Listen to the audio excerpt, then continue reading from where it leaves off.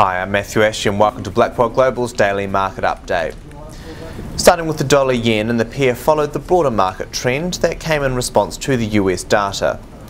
Specifically, the pair initially surged higher as the ADP NFP figure came in well above targets at 263k, but this bullishness was short-lived.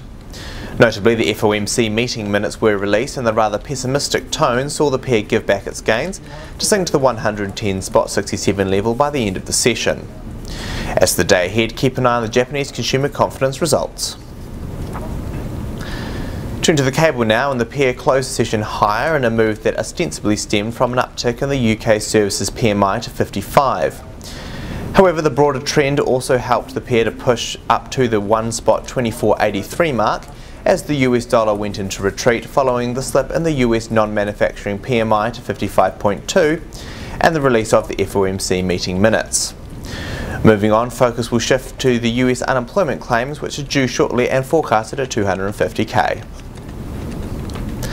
Finally, oil prices came under pressure as fears of US supply increases proved to be well founded, which pushed the WTI price down to 50.80. The spark for the sell-off came as a result of the US crude oil inventories figure posting a 1.56 million barrel build as opposed to the forecasted 150k draw.